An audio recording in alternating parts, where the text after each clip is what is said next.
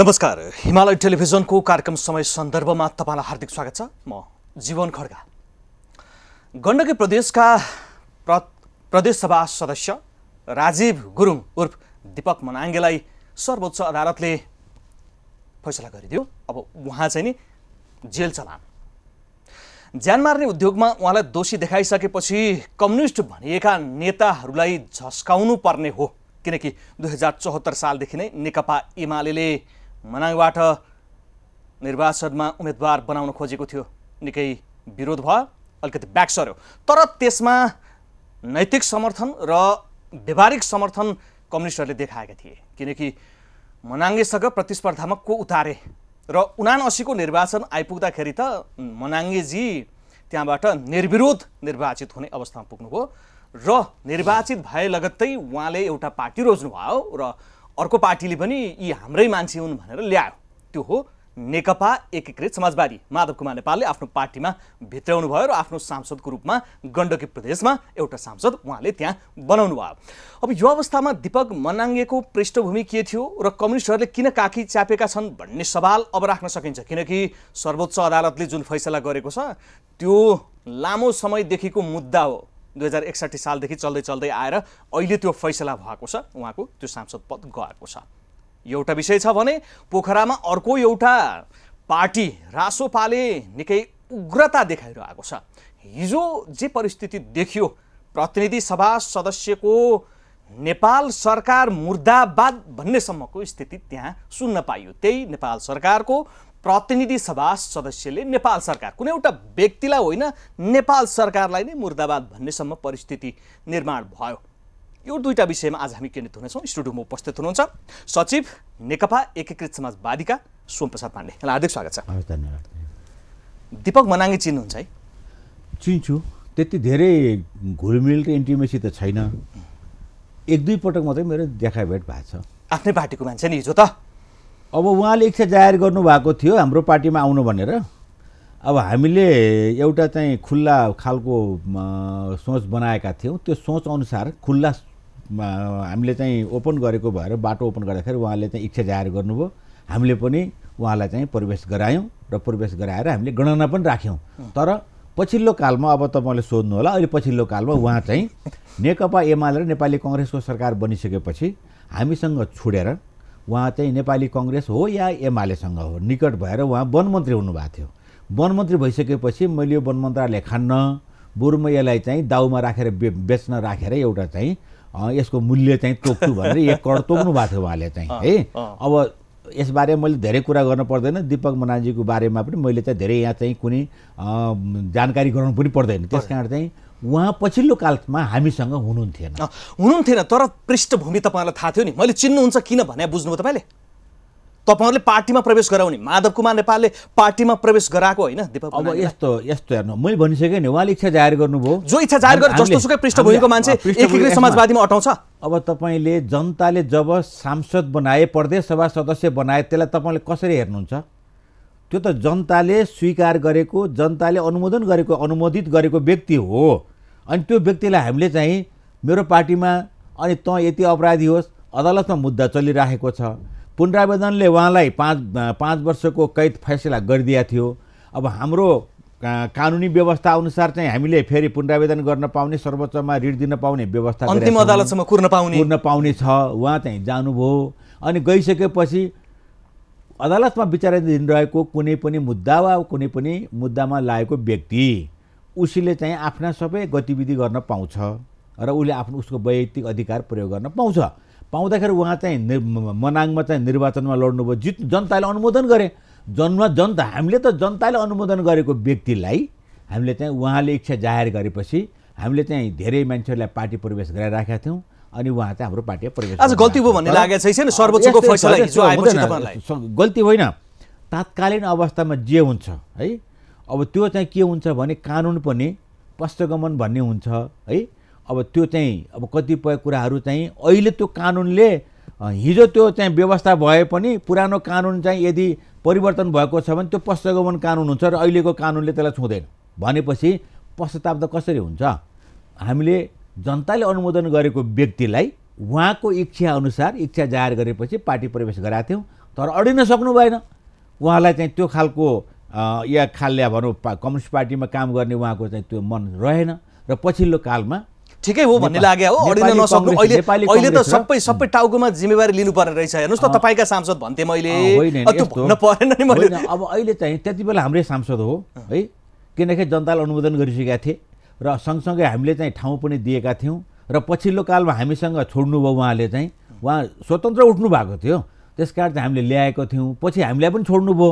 के स्वार्थले ल्याएको दिपक मनाङलाई उहाँको इच्छा अनुसार उहाँको इच्छा- उहाँको इच्छाले मात्रै हो? मलाई- यो पार्टीमा काम गर्ने मन छ मैले चाहिँ सङ्गठन विस्तार गर्न म काम चाहिँ गराउँछु सघाउँछु सहयोग गर्छु भन्नुभयो त्यो भनिसकेपछि एकीकृत समाजवादी र माधव अँ। नेपालको चाहिँ के के इन्टेन्सन त? होइन त्यस्तो इन्टेन्सन केही हुँदैन हाम्रो पार्टीमा प्रवेश गराउँदाखेरि हामीले कसैलाई स्वार्थमा कुनले स्वार्थमा कुनै खालका चाहिँ लोभ लालचमा हामीले चाहिँ पार्टी प्रवेश गराउँदैनौँ आज तपाईँ हेर्नुभयो भने हामी कहाँ अहिले यो चाहिँ ती महाधिवेशन पछाडि सङ्ख्याको हिसाबमा एघार हजार मान्छे हाम्रो पार्टीमा प्रवेश गरेका छन् मुख्य कार्यकर्ताहरू चाहे तपाईँ मकवान उसको हेर्नुहोस् के के अरे यो उदयपुरको हेर्नुहोस् चाहे जनकपुरको हेर्नुहोस् चाहे म मकवानपुरको हेर्नुहोस् चाहे वीरगञ्जको हेर्नुहोस् चाहे रौतहटको हेर्नुहोस् इभन पाल्पाकै हेर्नुहोस् चाहे सुदूरपश्चिम हेर्नुहोस् यी सबै ठाउँमा चाहे दाङको हेर्नुहोस् यी सबै ठाउँमा के छ भने अहिले प्रवेश कार्यक्रम।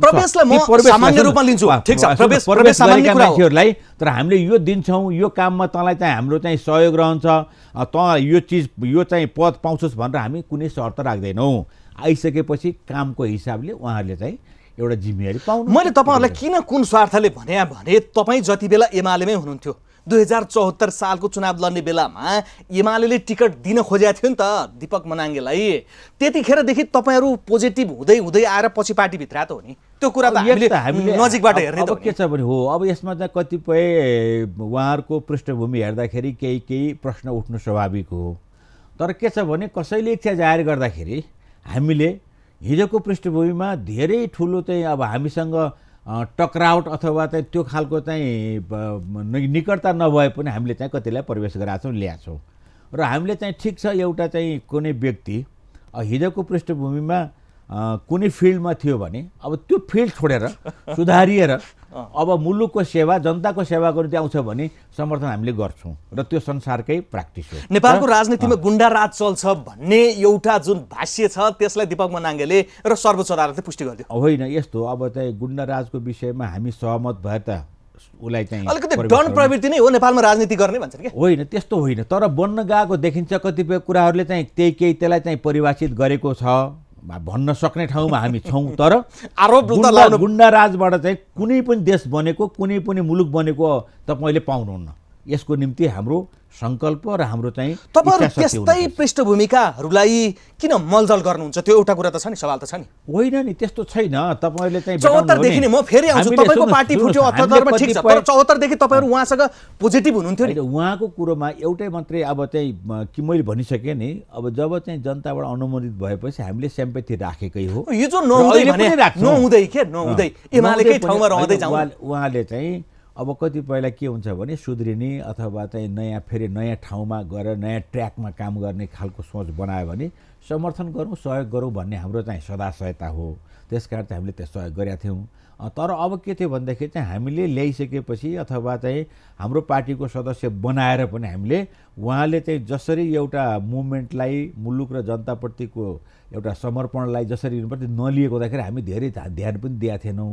र पछि कालमा त हाम्रो पनि छोड्नुभयो उहाँ त म यो पार्टी। छोड्दिनँ मरुन जेलसम्म यही पार्टीमा हो भन्ने मान्छे भने पार्टीमा आउँदाखेरि तपाईँले निकाले कि उहाँ आफै पार्टी छोड्या? यसो हो, उहाँले बस्नु नदिए हो। तपाईँहरूले? यस्तो हामीले पनि पछिल्लो कालमा त्यति धेरै सम्पर्कमा रहेनौँ उहाँको गतिविधि कारणले। दोस्रो उहाँले आफै अब पहिला हामीसँग नगिचाउनु भयो कहिले एमालेसँग हुनुभयो पछिल्लो कालमा चाहिँ नेपाली कङ्ग्रेस र एमालेको सरकारमा मन्त्री बन्नुभयो। हामीसँग त्यस हामीलाई त त्यसै छोड्नुभयो सकिगयो नि त आधिकारिक रूपमा उहाँ अहिले एकीकृत समाजवादीमा होइन नि। हुनुहुन्न हुनुहुन्न उहाँ चाहिँ हाम्रो पार्टीको सदस्य होइन अहिले चाहिँ। त्यही मात्रै कुरा हो चाहिँ भनेपछि हिजो आफ्नो पार्टीमा ल्याउँदा पनि पश्चाताप चाहिँ छैन। होइन पश्चाताप मैले भने नि जनताले अनुमोदन गरेको कारणले हामीले स्वीकार्नै पर्छ। त्यति चाहिँ? गरे तपाईँले चाहिँ हेर्नुभयो भने आज तपाईँले कतिपय जेलमा रहेका चाहिँ हाम्रा नेता कौडर हुनुहुन्छ नि। नेताहरू चाहिँ अरू पार्टीको नेपाली कङ्ग्रेस लगायतको हेर्नु हेर्नुभयो भने एमालेको हेर्नुभयो भने छन् नि कतिपय। आज तिनलाई हिजो जनताले अनुमोदन गर्न थाले त स्वीकारेकै हो त। आलमलाई मन्त्री बनाएको होइन टोपबहादुर उप प्रधानमन्त्री भएको होइन त्यो त हुन्छ त। यस्तातिर जान हुँदैन धेरै समय होइन पृष्ठभूमिका हिसाबले उहाँ लामो समयदेखि एउटा पृष्ठभूमिमा आरोपित व्यक्ति अदालतमा मुद्दा परेको व्यक्ति र एउटा अदालतले पुनरावेदन अदालतले अहिले उच्च अदालत भयो त्यो अदालतले सजाय पनि तोकेको व्यक्तिलाई तपाईँहरूले पार्टीमा ल्याउनु भयो जनताले अनुमोदन गरेकै भनेर हो त। यस्तो हाम्रो कानुनी व्यवस्था अनुसार कसैलाई त्यो आरोप लाग्यो अथवा कुनै खालको त्यो चाहिँ अपराध सिद्ध गरेर अदालतले फैसला गर्यो अथवा अदालतले चाहिँ दोषी ठहरायो भने त्यसको फेरि पुनरावेदन गर्ने त्यसलाई चाहिँ माथिल्लो अदालतमा जाने अधिकार छ त्यो अधिकार हुँदाखेरि चाहिँ हाम्रो कानुन नरोकेको हुँदाखेरि हामीले चाहिँ सामान्यतः सामान्य रूपमा लिनुभयो। आउने जाने भयो सक्यो। त्यसमा धेरै ध्यान दिँदैन। अब दिपक मनाङतिर अब अर्को एउटा विषय छ। तपाईँको पार्टीले भन्नुपर्ने तपाईँ पार्टी पदाधिकारीको हिसाबले म सोध्छु तपाईँलाई। पार्टीको आधिकारिक धारणा रासोपाले जुन हरकत देखाएको छ हरकत भन्न मिल्छ कि मिल्दैन त्यो पनि भन्नु होला पोखरामा जुन परिस्थिति छ त्यसलाई तपाईँले कसरी हेर्नुहुन्छ? त्यसको विषयमा म धेरै कुरा राख्न सक्छु। म कानुनको विद्यार्थी हो। हाम्रो संविधानले अदालतमा विचाराधीन रहेको र अदालतमा चाहिँ कारवाही चलेको विषयलाई संसदमा पनि कुरा उठाउन नपाउने व्यवस्था गरेका छौँ हामीले। अहिले जे सडकमा देखिरहेको छु मैले त्यो अदालतलाई प्रभाव पार्ने गरी अदालतलाई एक खालको चाहिँ दबाब दिने गरी यो काम चाहिँ भएको छ। त्यसप्रति यो चाहिँ कानुन विरुद्ध हो। त्यसमा अझै अत्यन्तै जिम्मेवार जनताबाट अनुमोदित भएका अथवा चाहिँ त्यो एउटा संसदमा एउटा जिम्मेवारी पाएको व्यक्तिहरू समेत यसमा संलग्न भएर अलि उच्छृङ्खल खालको चाहिँ भाषाहरू प्रयोग गरेको देखिन्छ। त्यसप्रति त हामी चाहिँ समर्थन गर्न सहयोग गर्न सक्दैन। तपाईँहरू त विपक्षी नि एकै ठाउँमा उभिने होइन एकै ठाउँ दल। उभिन होइन उभिन्छौँ कतिपय इस्युमा मुलुकको हित मुलुक र जनताको हितको निम्ति यस्ता आउँछन् भने त्यो हितमा आउने कामलाई हामीले समर्थन गर्छौँ रविजीको लागि उभिनुहुन्न तपाईँहरू। अब होइन रविलाई पर्टिकुलर हामी भन्दैनौँ इस्यु वाइज हुन्छ हाम्रो। हामी कुनै व्यक्तिलाई अहिले चाहिँ तपाईँ सरकार हेर्नुभयो भने नेपाली कङ्ग्रेस र नेकपा एमालेको सरकार छ। यदि मुलुकको र जनताको हितको निम्ति काम गर्छ भने हामी समर्थन गर्न तयार छौँ। हामी समर्थन दिन्छौँ। विगतमा पनि तपाईँ हेर्नुभयो भने दुई हजार उनासी साल पुस दस गते बनेको सरकार नेपाली कङ्ग्रेस र नेकपा एकीकृत समाजवादीलाई चाहिँ त्यो गठबन्धन तोडेर गएर नेकपा एमालेसँग नेपाली नेकपा एकीकृत समाज के अरे माओवादीले चाहिँ बनाएको थियो सरकार बनाएको थियो। त्यो सरकारलाई हामी समर्थन गरेका थियौँ। र हामीले गुण र दोषको आधारमा म सरकारमा आउँछु। म रासोपाको पोखराको र रविजीको सिद्धा र सरकारमा आउँछु। तपाईँ तपाईँ कानुनको विद्यार्थी विषयमा- पनि कानुनको विद्यार्थी पनि तपाईँ रविजीको विषयमा एउटा त संसदीय समितिले टुङ्गो लगाएको छ एउटा कुरा। र एउटा कुरा फेरि अर्को कुरा तपाईँलाई म चाहिँ स्पष्ट पार्छु है।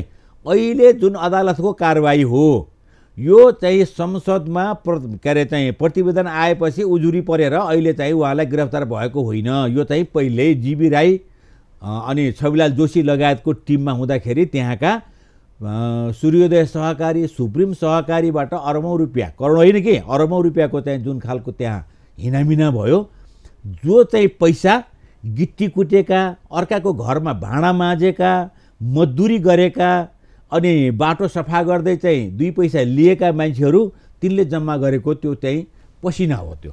त्यो पसिना तर बदनियत राख्यो त्यो पसिना मैले खाएको छैन। हाम्रो पार्टीको। सभापतिले खा छैन सबै त्यही पार्टी कुरो त्यहाँ पोखरा। त्यही कुरो त्यही कुरो अहिले अब अदालतमा छ।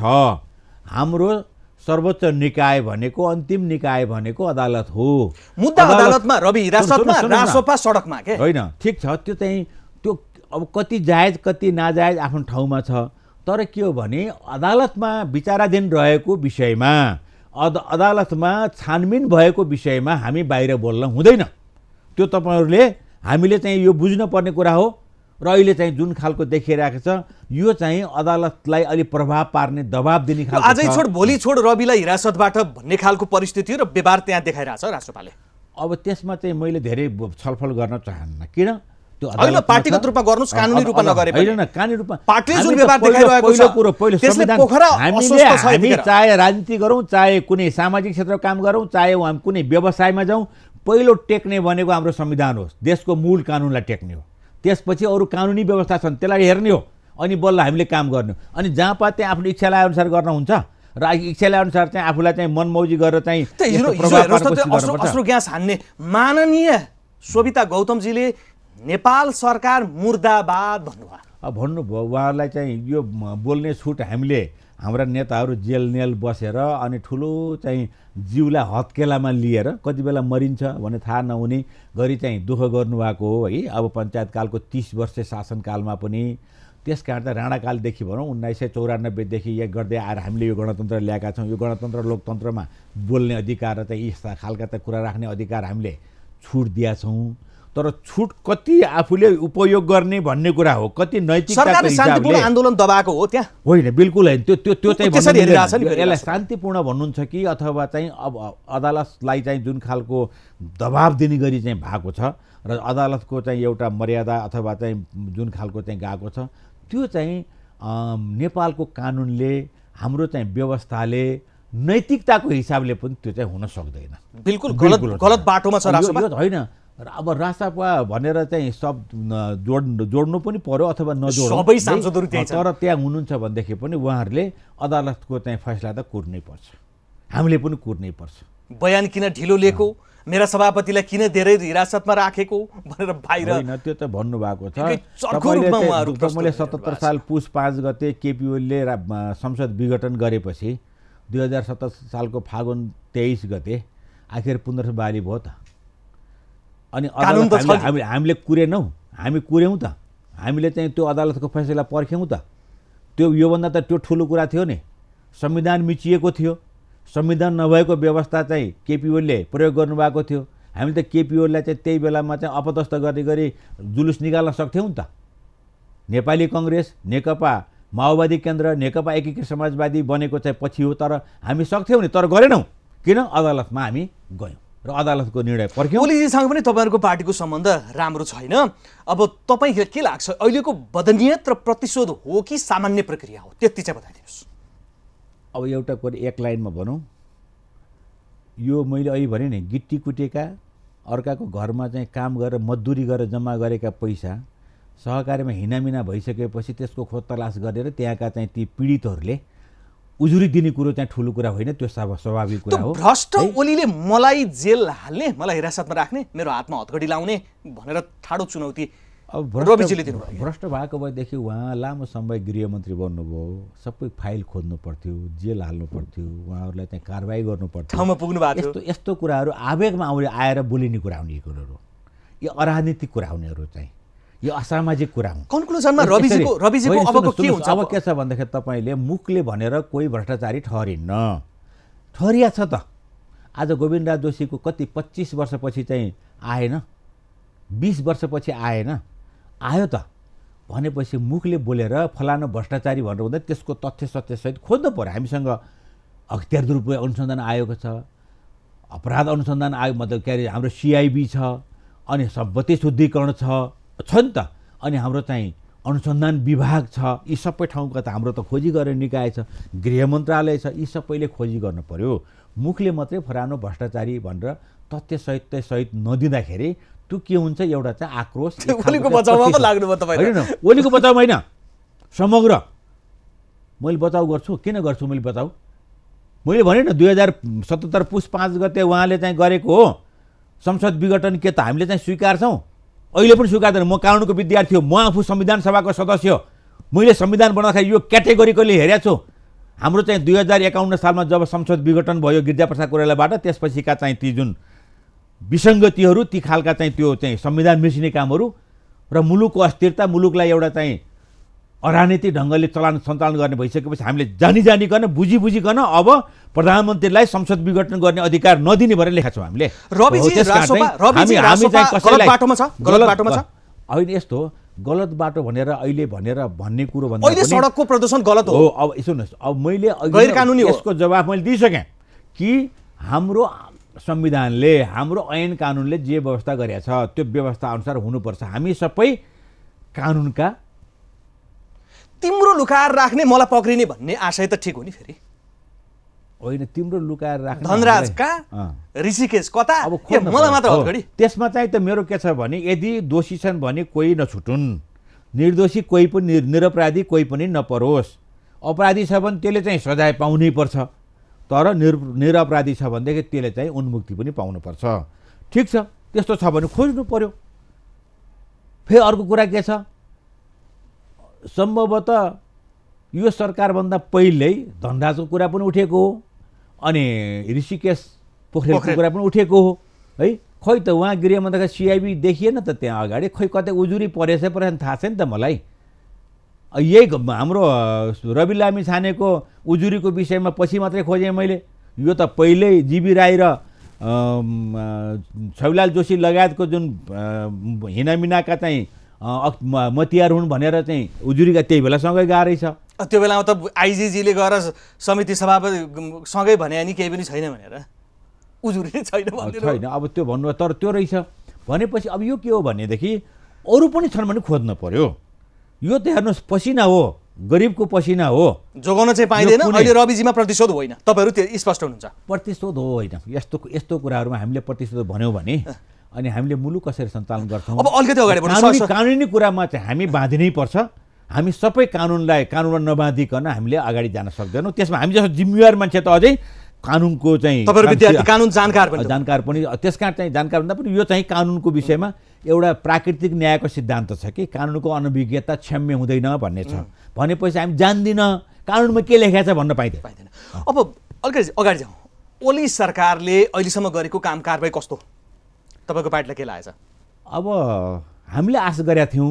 दुईवटा ठुला पार्टी मिलेपछि अब यो मुलुकमा राजनीतिक स्थिरता सँगसँगै अब चाहिँ सुशासन र समृद्धिको बाटो लिनको निम्ति अब नयाँ नयाँ कार्यक्रम ल्याउँछ भन्ने कुरा हामीले सोचेका थियौँ तर त्यो आएको छैन। हामी यसमा दुःखी छौँ। के के हुनु पर्थ्यो के भएन? सठिकमा बुदा बुदा बताउनुहोस् त। अब यसमा बुदा बुदा बताउने भन्दा पनि त्यो सात बुदामा भएको संविधान संशोधनको कामलाई अगाडि बढाउने काम गरिदिए भयो भने खुसी हुन्थ्यो होला होइन? एकीकृत समाजवादी। त्यति मात्रै त होइन। त्यो मात्रै निकास पनि होइन। है? एउटा पार्ट हो एउटा चाहिँ पार्ट हो त्यो हो। एउटा चाहिँ त्यो ऊ चाहिँ हो। तर त्योदेखि बाहेकका हाम्रा आर्थिक संरचनाहरूलाई अब सुदृढ नगरिकन आज नीतिगत रूपमा तपाईँ हेर्नुभयो भने अझै पनि धेरै ठुलो ल्याप्सेस भनौँ अथवा नीतिगत भ्रष्टाचारका नीतिगत ल्याप्सेसहरू हामीसँग धेरै छ। पहिलो कुरो त नीतिमा जानु पर्यो। हाम्रो जस्तो डेमोक्रेटिक कन्ट्री संसारका सबै डेमोक्रेटिक कन्ट्रीहरू नीतिगत रूपमा उनीहरूले चाहिँ स्ट्रङ भएनन् भनेदेखि तपाईँले केही पनि गर्न सक्नुहुन्न।